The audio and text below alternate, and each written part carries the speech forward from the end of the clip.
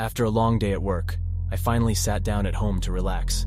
However, my peace was disturbed by a strange knocking at the door.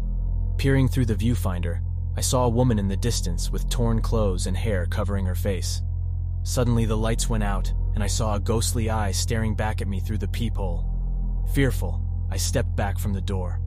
As I stood in the darkness, I heard another knock, this time coming from the bathroom. Trembling with fear, I reached for my phone and cautiously approached the source of the sound. Upon opening the door, I found nothing.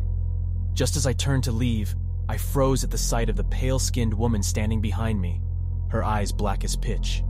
In a split second, she lunged at me, sinking her teeth into my neck and clawing at me with her inhuman strength. With a forceful throw, she launched me against the wall, leaving me lying on the ground with blood pouring from my neck. It was clear that my fate had been sealed.